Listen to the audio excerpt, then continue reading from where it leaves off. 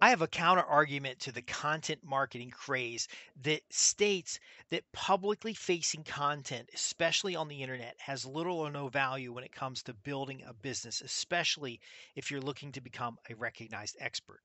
Hey, this is Justin Hitt with Ad Briefing's copywriting tips. I know you've been told for years that you you need to be a thought leader. You need to get out there and share your message in word.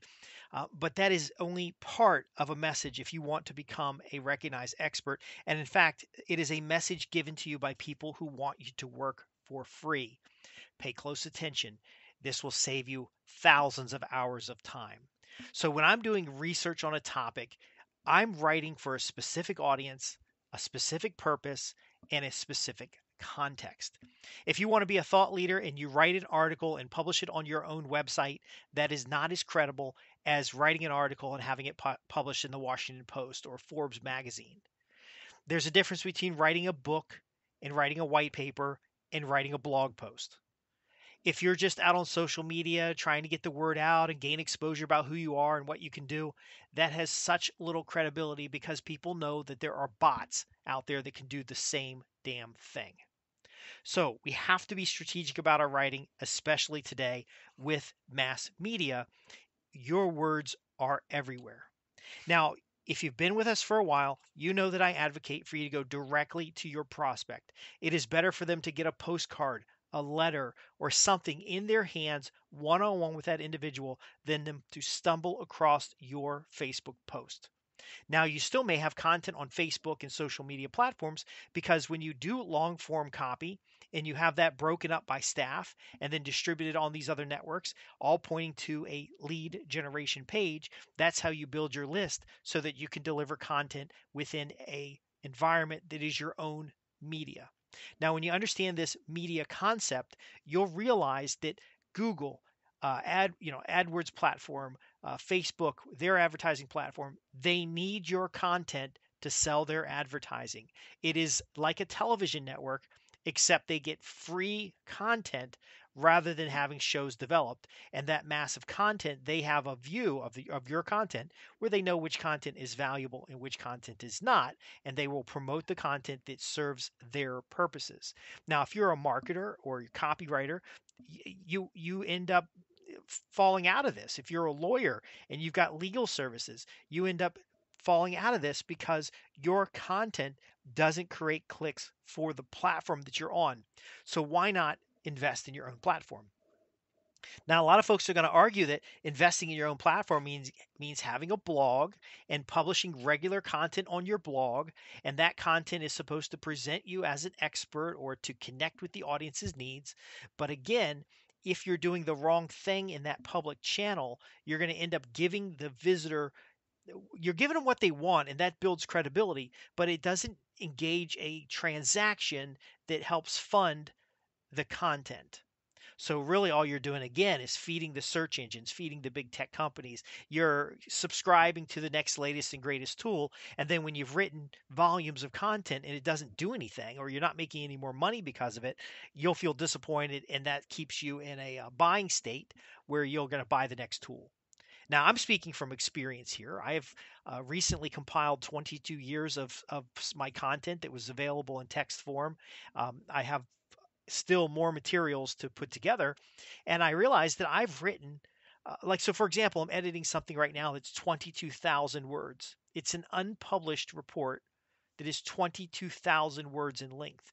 Now, I've grabbed excerpts out of it and created articles and newsletter uh, uh um, ads and other things out of it.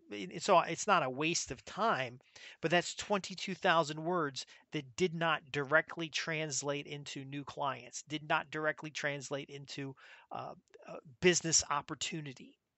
So again, content marketing is a gimmick designed for you to buy content marketing tools. It's what the shovel seller uses in order for you to buy platforms or to buy subscriptions once you understand that, you're going to realize that some of your content is for a prospect that, that helps them uh, justify your products or services. Some content is for a a buyer to help them buy your products and services. And even some of your content might be delivered as a product for those who have already made a purchase decision and now they need the steps and the and the uh, how to in order to get the results.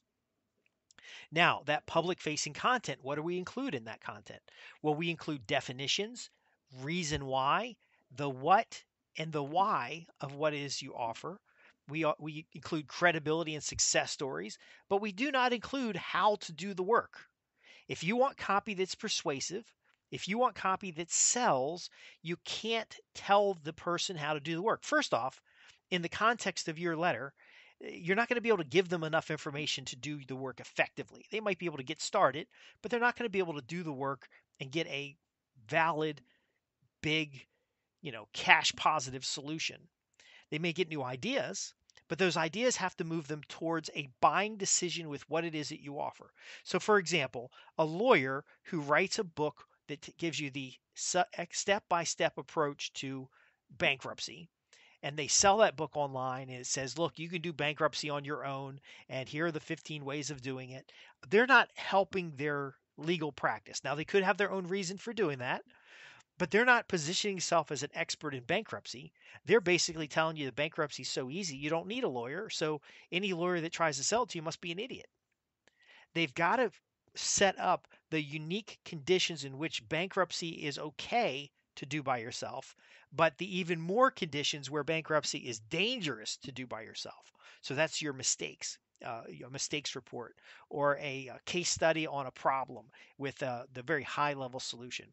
There are even times where your how to materials will say how other people do things and then the failure or the fallback or the draft the, the problems related to doing it that way and then offering a final solution, which is some kind of consultation or some kind of appointment.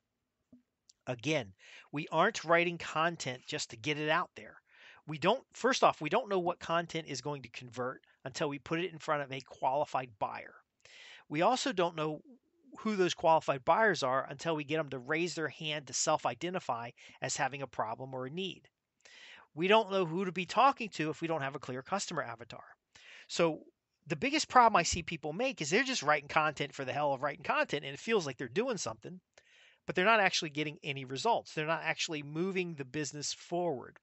So again, we want contact for content for prospects where we're making contact with individuals but asking them to raise their hand and identify themselves as having a specific desire, having a specific problem or wanting more details.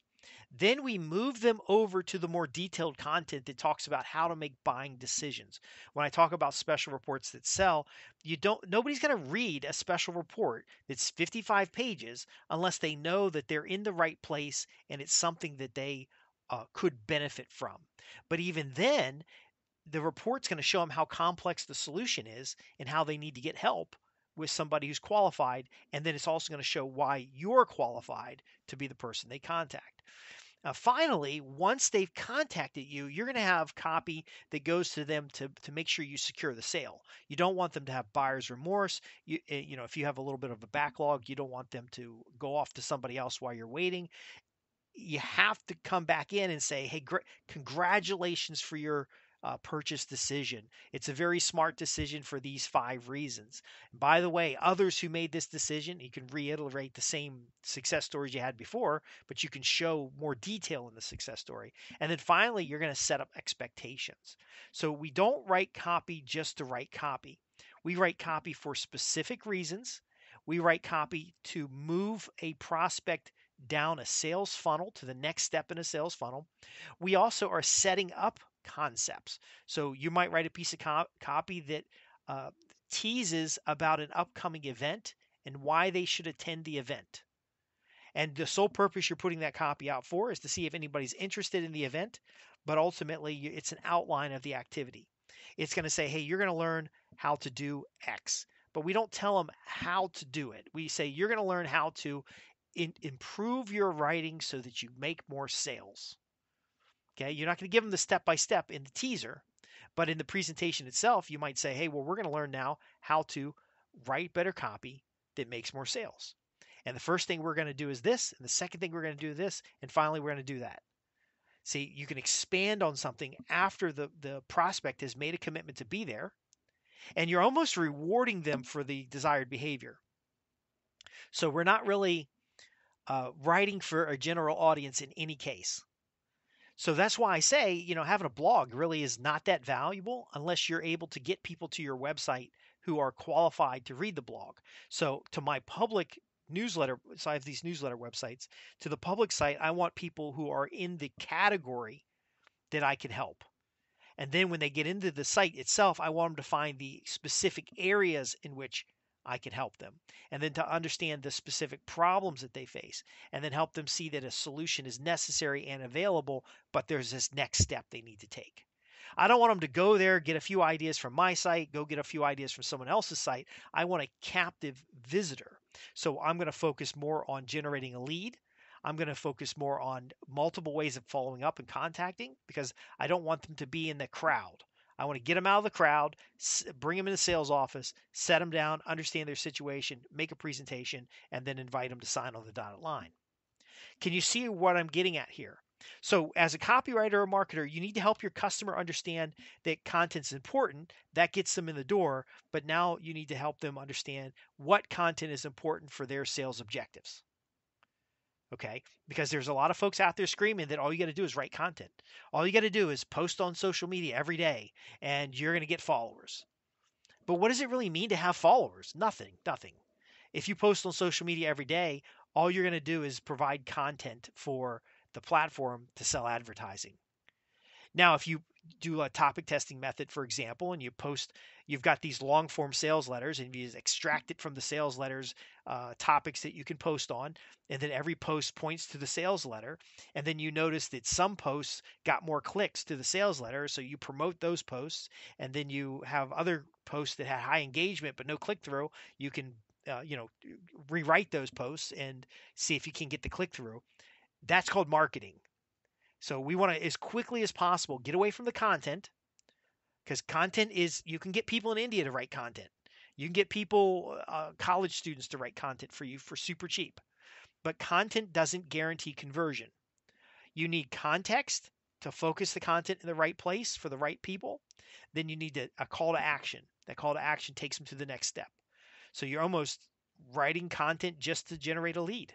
You're writing content just to generate the sale. You're writing content just to uh, serve the customer who has made a commitment to you. Now, all these things could be in the same place online, but it must be obvious to the individual when they get to that page that what they're they found is for them and that it takes them towards their outcome or objective. Frank Kern talks about this with results in advance. Rather than solving the big problem, he solves this little tiny problem that is keeping that individual from moving forward. So if you were going to sell copy, if you were writing copy to sell a car, you have to have people who are interested in having uh, a private mode of transportation. You're not selling cars to advocates of public transportation. So your public facing content would uh, would talk to somebody specifically. So if you're selling outdoor recreational vehicles, you're talking specifically about doing things in the outdoor. What could they be doing with their vehicle? How to choose the right vehicle. Um, that how to is not how to maintain and own one or how to pay for it. It's specifically uh, getting in their head the idea that they need this vehicle and all the great exciting things they could do when they had the vehicle. That's the results in advance because before they were just kind of curious and now they're interested. And once they're interested, you move them into another world where they can choose the vehicle right for them. And that might not be content. That could be a decision tree or a selection box or a set of stories of different kinds of people and they see themselves in the different profiles and that's what vehicle they pick. Uh, there is a difference between somebody who gets a ford uh, f50 uh, uh ford f-150 and a you know uh, ford 450 or ford 350 there's a difference between city driving and construct driving on construction sites. Um, you have to make sure that the context of your copywriting is focusing on that that that reader and it's taking them to the next step. Again, blasting content out there, it feels like you're doing something. It as a copywriter, you can make good money selling that, but it's not serving the customer to simply give them a pile of content. A pile of content does nothing for sales. So, a quick summary content marketing is designed to sell tools and services. You might discuss content marketing in order to get copywriting clients, but I believe you're going to better serve those clients if they understand that there's context and copy relevant to buying decisions or relevant to uh, where the prospect is in the sales cycle. And if you're able to go direct to that individual where they're at, you're going to get a lot more results. You're going to get better performance. You're going to be able to measure the the effort better. Now, when your clients can measure the effort better, they're more likely to come back and do more work with you because if you just give them a pile of copy or a pile of content and nothing happens, then they go find somebody else to give them another pile because the a lot of the prospects, a lot of the clients don't know any better. Um, let's help them know better so that they're more discerning about their purchase. Let's help them have high functional copy, which lets us track and then ultimately uh, they'll get more sales and have more money to pay you. So I'm Justin Hitt with Ad Briefing's copywriting tips. Content marketing is a scam, uh, but let's not let it distract you from writing words that sell. If you have any questions about what I've covered here, you can go to www.adbriefings.co.uk, go to the contact page, ask your questions. I'll be delighted to answer them either in a, a future podcast or uh, you know I'll send you an email back. Uh, ultimately, we're about helping copywriters and marketers build their million dollar plus agency, an agency with repeat customers, with high ticket projects and assignments, and long term results. Thanks for listening.